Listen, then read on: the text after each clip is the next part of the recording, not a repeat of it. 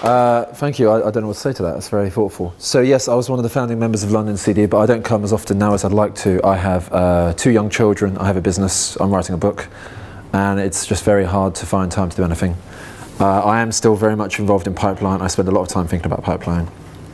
Uh, but uh, what I really do is I think a lot about continuous delivery. I have the fortune to know Dave Farley and Jez very well, and. Um, uh, so the book I'm writing now, and I'm already breaking my own rule. Uh, so already at the start, I was like, I'm going to spend 35 minutes. I'm going to be in and out. I'm going to do exactly what I'm going to do in a few weeks' time at a conference. And already I've just tossed that out. That was rambling away. Don't know what I'm doing. Got no clue. Don't even know where this is going. Uh, what was he going to say? I don't know. I was going to tell a story about Jez. Then I thought, should I tell that? And I was like, oh, I might as well. So. Um, uh, I spoke at Lean Agile Scotland last September, and uh, Jez flew in to give a keynote, and I was kind of lying in wait, like I do for Jez. I was like, going to land, and I'm going to ask him stuff, because getting a hold of him online is impossible.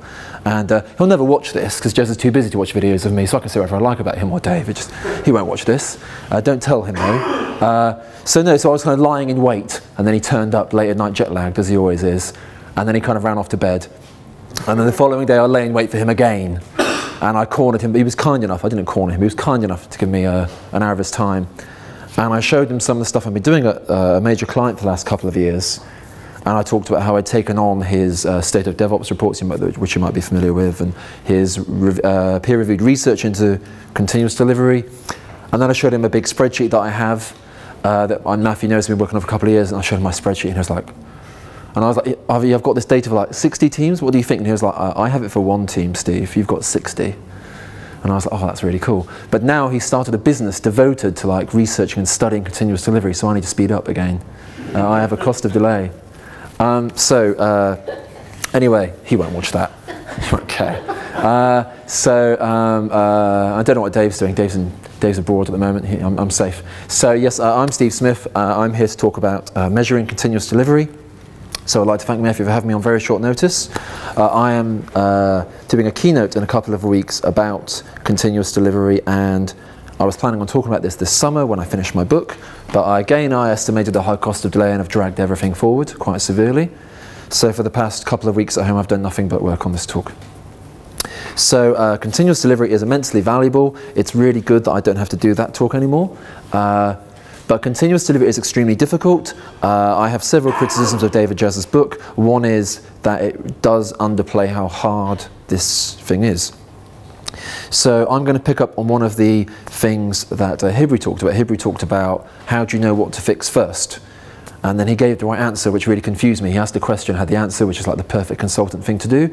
Uh, the correct answer is you should start with monitoring. That is always the thing to start with first, unless you have an extraordinarily high cost of delay. Like if, uh, in, in you, if you're in Paul's case, our generous host tonight, Paul is running a bank, you have a banking license, there is a cost of delay because there are other banks out there right now trying to do the same thing as him. Maybe in his case, he might leave the monitoring a little while. But for everyone else, you should start with monitoring. But I want to talk about the thing that's kind of missing in the continuous delivery book and then hinted at in the lean enterprise book. You should be measuring stuff. You shouldn't just be sat there going, I know trunk-based development is the right thing to do, or I know that getting devs to do on-call is the right thing to do, uh, because I've been that person. Uh, uh, I won't uh, repeat the word that Hibri used earlier, the B word, because I'm teaching myself not to swear on video, uh, but I've been that person that says like, we're going to do this, and then after a year you wonder why people have stopped listening to you. It's because you're just getting compliance, you're not getting commitment. And I think a really good way to get commitment is to actually measure stuff. I've rambled for so long, I don't know where this is going. Uh, right, I'm actually going to do my talk now. So, um, before we start, uh, and we know Hibri's answer already, so Hibri doesn't have to put his hand up. How many people here are actually measuring the stability and speed of their release process right now? Okay, right, so there's three of, four of us going to be friends. Okay, the rest of you do it tomorrow, okay? Because there's a gold mine of information out there waiting for you, right? Uh, okay, so I'm a continuous delivery consultant and trainer. I do uh, training courses. I do uh, long-term consultant uh, gigs where I take on like the kind of continuous delivery consultant role that Hibri spoke about earlier. Uh, I'm also writing a book at the moment called Measuring Continuous Delivery. It's on LeanPub, and Uh, it's all about this talk, but in much more detail, kind of the what, the how, the where, the when, the why of measuring continuous delivery. And I co-authored a book with Matthew a couple of years ago on uh, like an anthology of continuous delivery stories. And actually in that, I told the hilarious tale of how I spent three years doing continuous delivery at a company without really measuring stuff, and then finding out after three years I'd not fixed the constraint at all. It had been in a completely different place to where I'd been looking. That was good to learn. So uh, it's three, three years. Anyway, so uh, continuous delivery is a good thing because there's an opportunity cost associated with not delivering something on time. So originally the continuous delivery book talked about reducing cycle time, which is a phrase I avoid like the plague. Uh, I would say that continuous delivery is about improving the stability and speed of IT delivery, and it's important to mention both of those things. It's not just about speed. Uh, I would say uh, you're in a state of continuous delivery when the stability and speed of your release process satisfy business demand. If you don't have that, then you are in a state of discontinuous delivery, which is a thing I coined by looking in dictionary.com for antonyms of continuous. Uh, but it's a thing now, I've made it a thing. I want everyone to tweet that. So, uh, yeah, so when an organization successfully adopts continuous delivery, which I've personally experienced in the past, is a wonderful thing because you can trial product ideas and search for new revenue streams much faster than your competitors. And that's a real business advantage. But as Dave and Jez kind of hinted at in the original book, it's very difficult because there's an awful lot of things to do. And obviously the book was published seven years ago. That list of things to do has only grown over the last seven years. So here is a list of the uh, technology improvements that are mentioned in the book, and I've kind of also added onto at my kitchen table a couple of nights ago. Uh, this is a very long list. I'm not going to waste your time by going over all of them because you will know most of them. Uh, yes, you need continuous integration, you need version control, you need canary deployments, you need smoke tests. This is all of these things are very hard to do. They're very valuable. They're very rewarding. They're very challenging.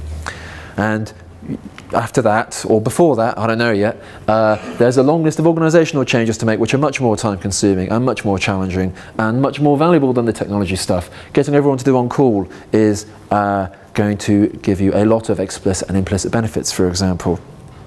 But as Hibri was saying, which one of these do you do first?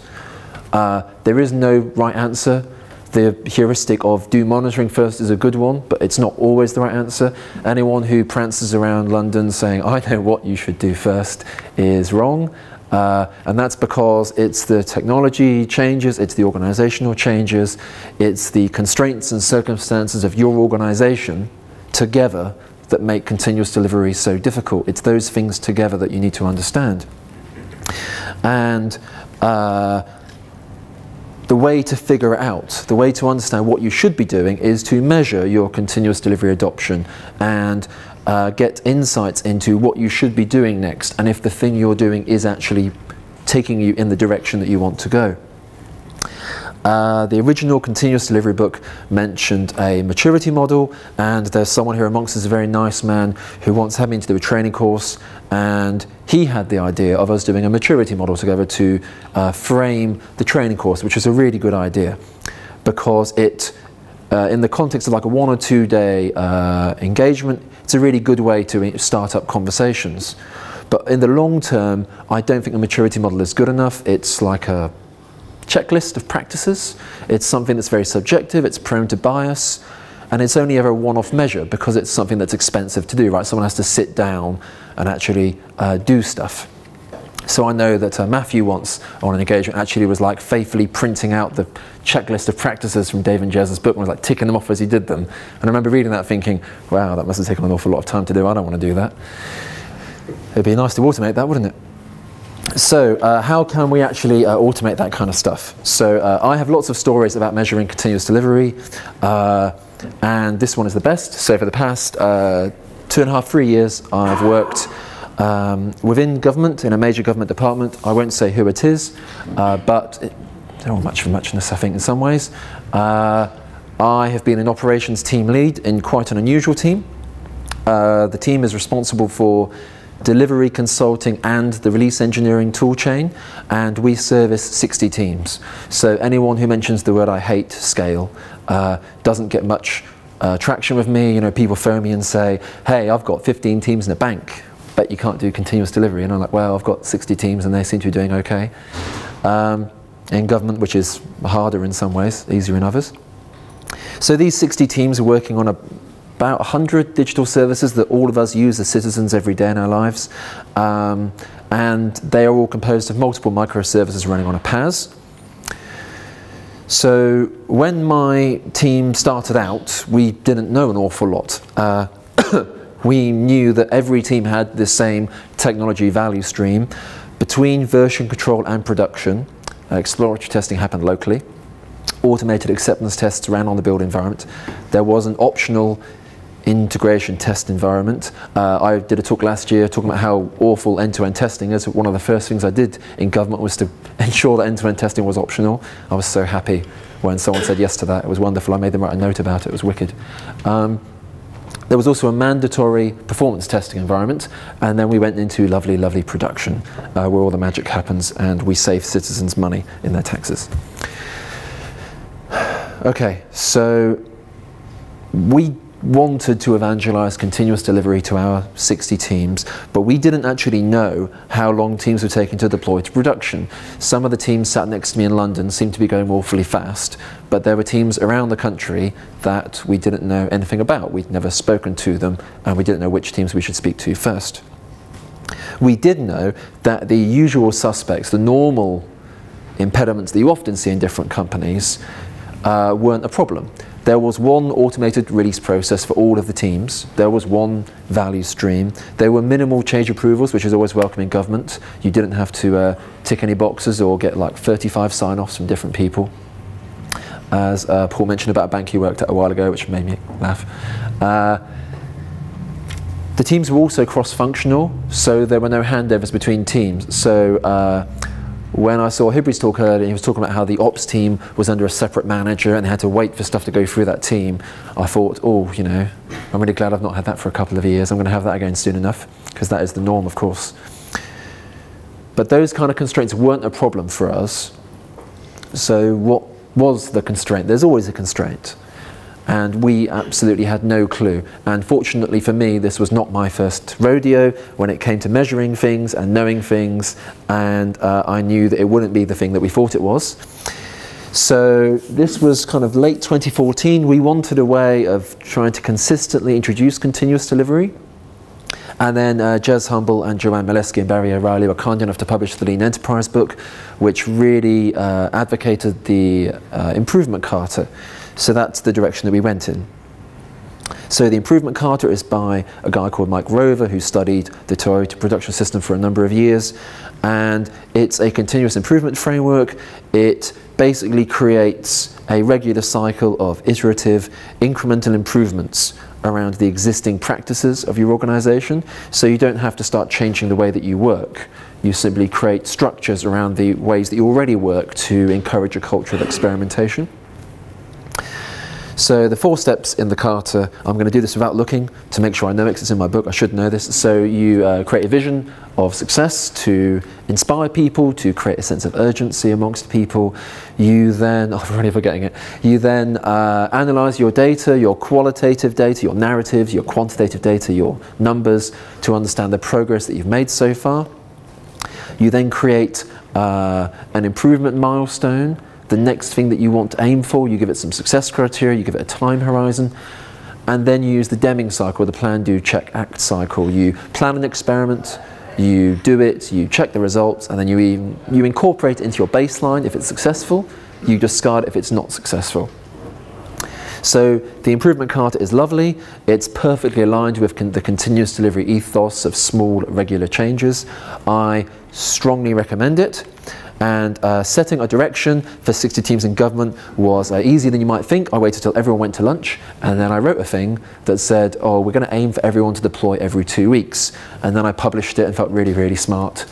And now in hindsight, I realized that was a really stupid thing to do because it didn't inspire anyone. They were at lunch, and it wasn't urgent. Everyone was at lunch. Uh, so that didn't really work, I don't think. But we refined over time, and uh, a while later, we published a thing that showed that when you deployed earlier, defects would go down and you deliver value faster. We backed up with some data, and that got a lot more traction. So creating a direction is pretty easy. I mean, you shouldn't do it the way I did it. You should have some kind of business urgency behind it. But the hard bit comes after that. Whether you have one team or 60, how do you know if you should focus on stability or speed next? How do you know what your next improvement milestone should be? If you're currently deploying every six months, should you aim for one month or one day or three months? Uh, and then once you've decided upon that, you then get to the point that Hibri made. Like, what, what's the next thing you do? What's the next improvement? Which technology or organizational change do you try to work towards that milestone? So with one team, that's quite hard. With 60 teams, that's even harder. How do you even know which of your 60 teams to help first? Do you help the team in London that you go to lunch with, that you're friends with? Do you help the team in Lincoln that's been screaming for help for weeks on end? Do you help the team in Aberdeen that you've never heard of that are just working in a cupboard and are a bit lonely? Like you don't have any clue, and there's no point pretending that you know, right? So the, the answer is that you're part of a complex, ever-changing system in which you and everyone else has a limited amount of information. And if you're going to make better decisions, you need to reduce uncertainty. And that's where measuring stuff comes in. But what should you measure and uh, how should you do it? Well, luckily for us, uh, Jez Humble, Nicole Forsgren and friends have done, uh, had done some of the groundwork for us. Uh, over the past few years, they've been publishing their annual State of DevOps report, which is like a worldwide survey of IT practitioners. And they've also done some peer-reviewed academic research recently into continuous delivery, which I strongly recommend. So the State of DevOps reports have been really nice. They're very accessible to people. They're easy just to pick up and kind of thumb through, and at a glance understand that continuous delivery is a very good thing. I think uh, two years ago especially, they found that uh, organizations that were high performing, that deployed to production very frequently, were twice as likely to exceed market share, productivity, profitability. That's a very nice soundbite you can take to people, and it's backed up by some data. But it's their peer-reviewed research that has been very good because that is less open to challenge, I think and they've shown that when you adopt continuous delivery over a sustained period of time, then throughput and stability will improve together. They've proven what a lot of people have long suspected, that uh, the choice between features and stability is not a zero-sum game, and that effectively every large consultancy you've ever heard of has been lying to all of us for many, many years. not my consultancy, my consultancy is lovely and small and fluffy, but uh, the large consultancies are dirty, dirty liars and uh, yes, I'm saying that on film uh, because there's peer-reviewed research that shows that I'm right. If only it actually used the word liar, not me. Never mind. So uh, that's all well and good, but how did that help us understand how to measure stuff in government? Well, what's good is that Jez and Nicole have always used the same measures to quantify stability and throughput. Who here has actually read a State of DevOps report or even gone even further and read the research? Yes, a few of us, we're friends, that's good, that's good. If you haven't now, I can look really smart as if I thought of all of this. Uh, I didn't, I just took what they did and built on it, as we all do, I think. So Jez and Nicole have always quantified stability with change failure rate and failure recovery time. So that's how often a change goes wrong and how long it takes to remediate a change that hasn't worked. And they've quantified throughput using change lead time and change frequency. So how long it takes to actually make a change and how often you make changes. So these are measures. These are quantifications of a thing, an object or an event, at a single point in time. But when we perform those measurements over a sustained period of time, at regular periods of time, then they become metrics. And I thought quite a long time ago now, we could create an indicator here, or more than one indicator. We could weave these metrics together by applying the same temporality to them. We could say, for example, I want to look at change, uh, lead time and change interval once every six months for a month and then see how those two metrics relate to one another. And it's the interactions between them that are very interesting because that's where you see trends and problems emerging in a domain. Okay, so the first thing we did was the obvious thing to do. We applied the measures to uh, production deployments, which gave us a deployment stability indicator and a deployment throughput indicator. So each time uh, our release tool was used to do something in production, it persisted a snippet of data to a database.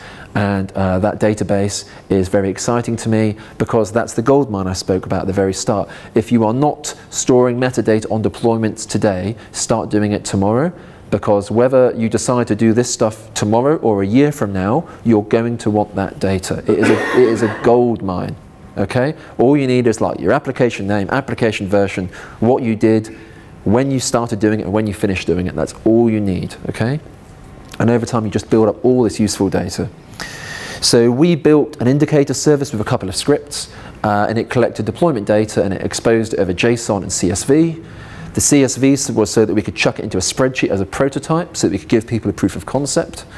And once people realized that this was a good thing, we then used uh, the JSON as the real deal, and we generated uh, loads of different graphs and put them into like an internal website, so all of the teams could see the indicators for themselves. We did all of this with some disk, some scripts, and some charts. There were no new tools. Uh, anyone who's seen me speak before or knows me uh, knows how uh, tool agnostic I am. Tools sicken me normally. Uh, I saw someone on Twitter the other day saying, you know, oh, Lambda's really hard. We should use Docker to simplify Lambda. And I had to like go for a walk around my house and like and hum to myself for a while, not answer. I was just like, what are you doing? You know, like, yes, this isn't complicated enough for me anymore. Stop it.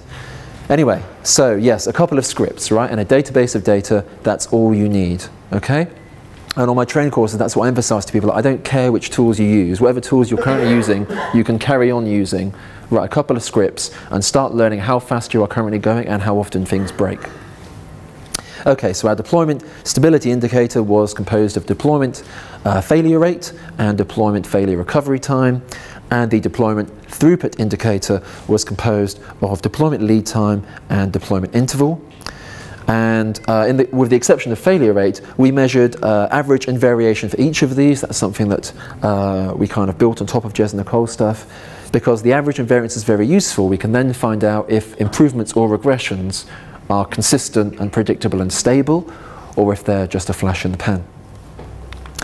So here is the deployment stability indicator we used. So deployment failure rate was the percentage of production deployments that caused failures.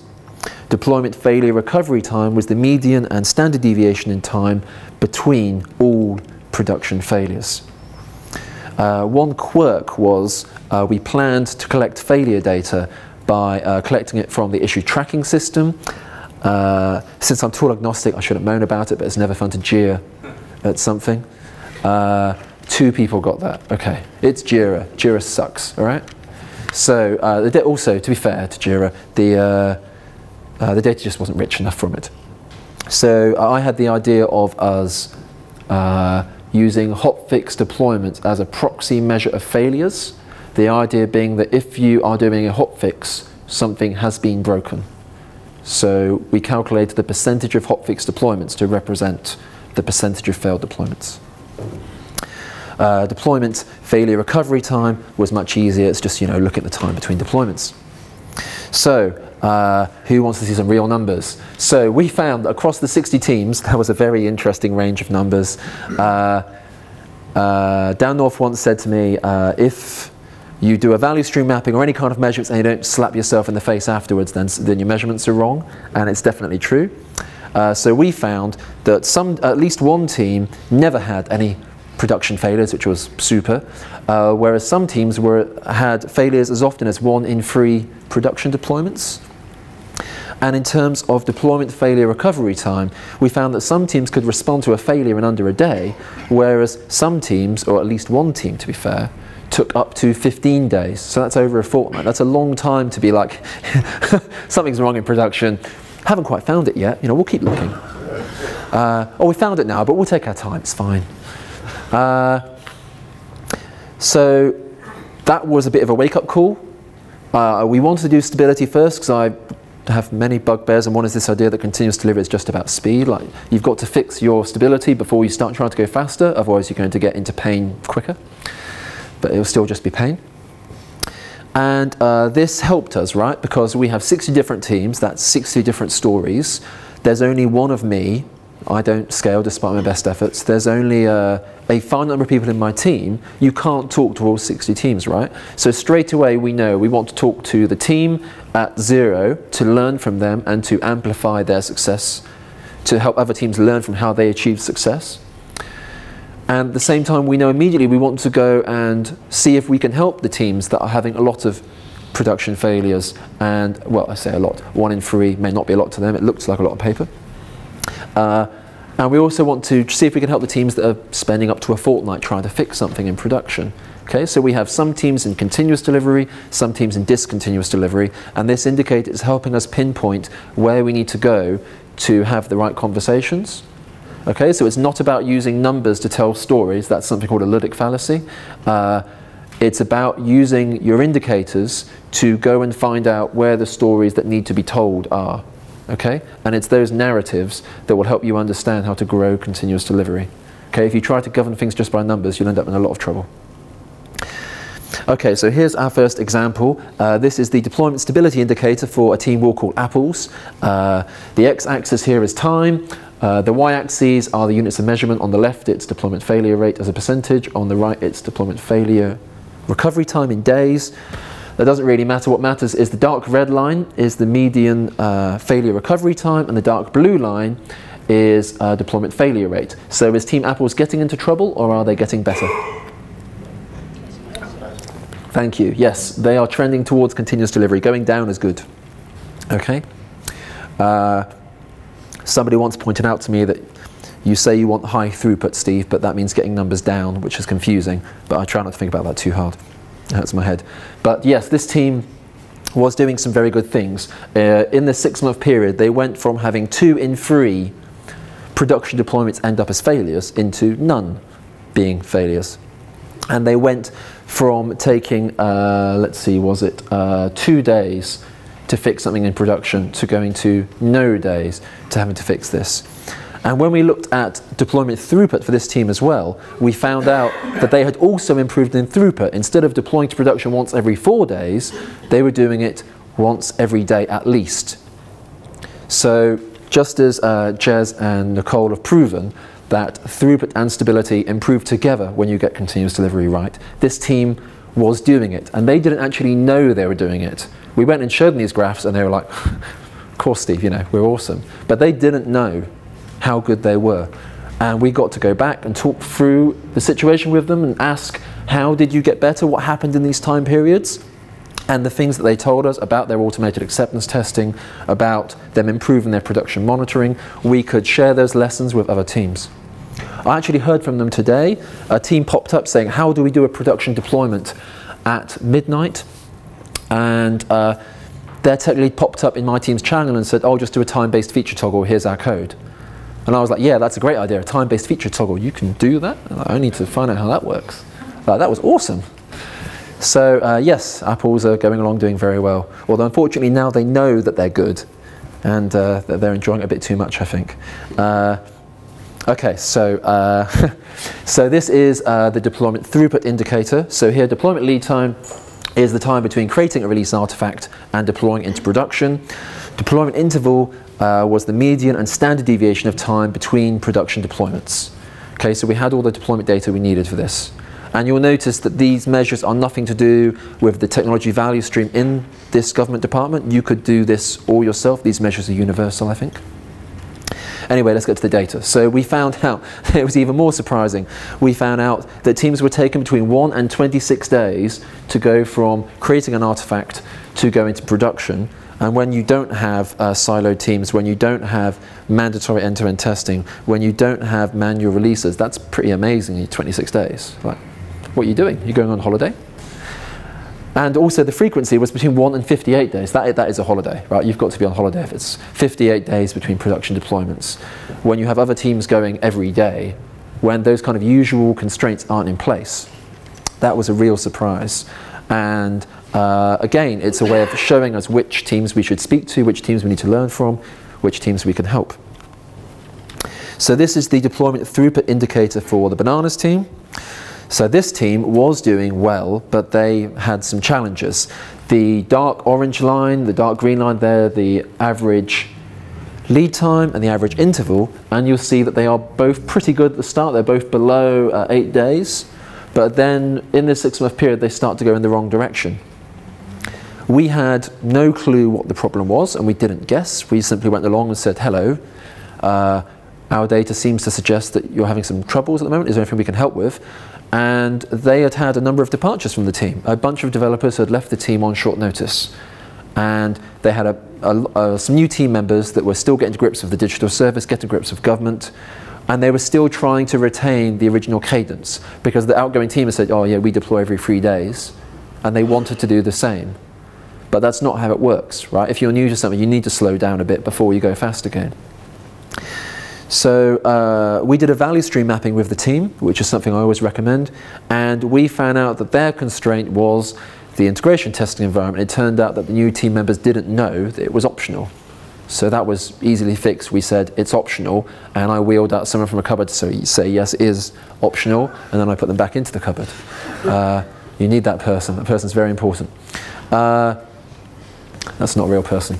There's not a person the government will keep in a cupboard. That would be really wrong. Uh, so, oh, okay, god damn it, there's no one in the cupboard. Right, so uh, this was a little, this was a little different, right? This was a very unusual constraint. We didn't expect this, right? We thought it would be something elaborate and crazy, not just a bunch of people left, and now we're new and we don't quite know how to get to grips with stuff. So we kind of sat down and said, how can we help? Here's another team that's got a similar digital service to you. They're another part of the country, but they'll help you. Just chat to them online. And we asked them to look at their monitoring, and generally we just said, we're here to help, and we left them alone. And over time, they started to improve again, which was really good. We often did value stream mappings with teams to uh, help understand where they were losing time, where their waste was accruing in their value stream. And we, we had some very unusual things come up, and team members departing was uh, often one of them, actually. It was very interesting. Okay, so let's talk about build indicators. So I found that Jez and Nicole's original measures of stability and throughput can be reapplied to different aspects of the technology value stream. You don't have to just use them for deployments. So in their research, they've found that continuous integration is a statistically significant predictor of continuous delivery, which shouldn't be a surprise to anyone in this community. And it's kind of common sense after a while, I think. If you build things frequently, it's possible to deliver things frequently. One without the other would be quite interesting to watch from a distance, a safe distance. Uh, so what we can do though is we can take these indicators and just apply them into, into builds. We can look at a build stability indicator composed of build failure rate and build failure recovery time. We can look at build throughput composed of build, lead time and build interval. And all we had to do for this was to update our indicator service to scrape information out of the artifact repository and out of the version control system. And again, we looked at median and standard deviation. So for the build stability indicator, build failure rate was the percentage of builds that failed, and build failure recovery time was the median and standard deviation of time to recover from a build failure. And uh, the numbers were uh, horrific. We found some teams uh, never had build failures, whereas uh, at least one team took uh, 40, uh, 41% of their builds fail and uh, recovery times vary between uh, zero hours and uh, 12 days. So which is pretty special, you know, you leave the build broken for 12 days, I'm not, not quite sure what's going on. But that was another interesting thing that we need to learn from to understand if it's something in the tool chain that we can resolve, since my team owned release engineering, if it's something in the team and the team's culture that we can try to help with or help them learn from another team around them. So uh, our example of build stability is the grapes team, which was uh, very puzzling at the time. So uh, here, the dark purple line is their build failure rate, which you'll notice is very low, which is good. It was around 1% or, or for this whole six months. But the average build failure recovery time is high. It was over 12 uh, hours. And there's very low variation. So that doesn't feel quite right. Something doesn't fail very often, but when it does, it takes ages to fix and always the same amount of time or thereabouts. In my experience, if something infrequently fails, it's very hard to predict how long it will take to resolve. Excuse me. So we spoke with the team, and uh, they quite openly told us the truth, which kind of uh, surprised us, which was that uh, their acceptance test took over 10 hours to run. They didn't know that there was a team like mine available somewhere in the country to help them, And when they were under pressure to deliver to a certain date, they created the artifact first and then ran the acceptance test later on a schedule. And if they failed, they went back and fixed it and cut another build.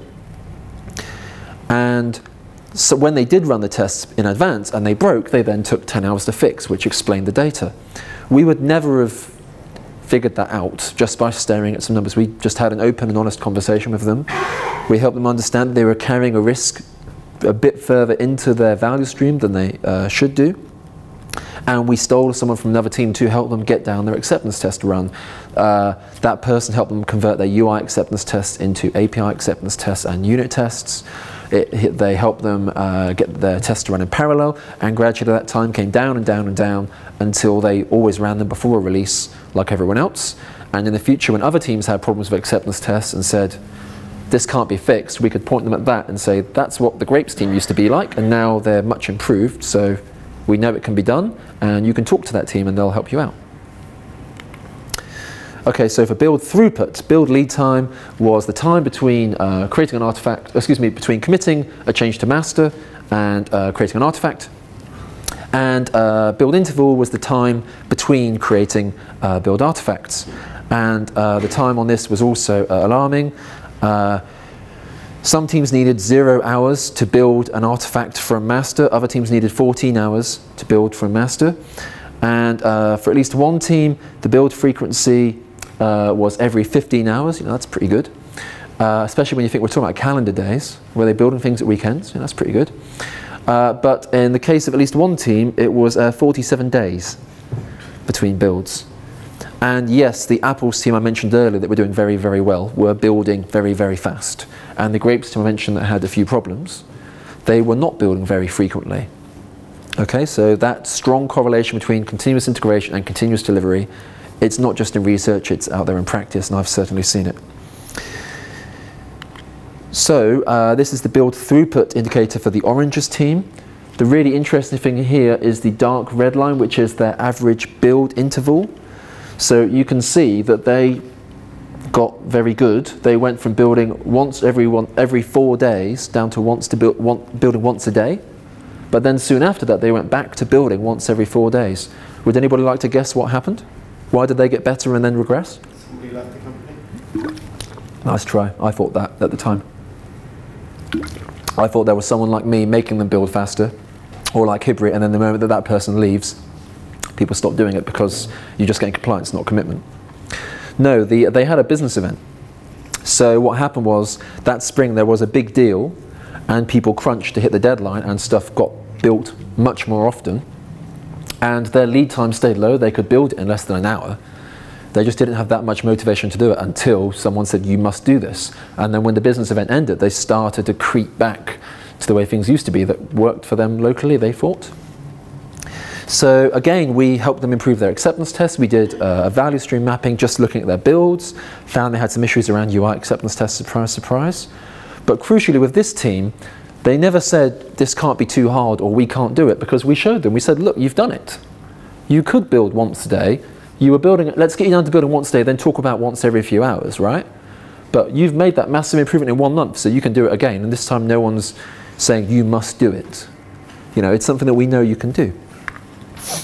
Okay, so finally, uh, after that I decided to go even further and uh, apply our throughput indicators to code as well. So for years, continuous delivery practitioners have found that individuals committing code to master at least once a day makes continuous integration much easier. So continuous integration is a practice in which every member of a team commits to master at least once a day. So it stands to reason then that individuals have to be doing it at least once a day, I think. And trunk-based development is still considered, you know, this awful heresy. Uh, uh, uh, Jez Humble always says it's the most controversial practice still that he advocates.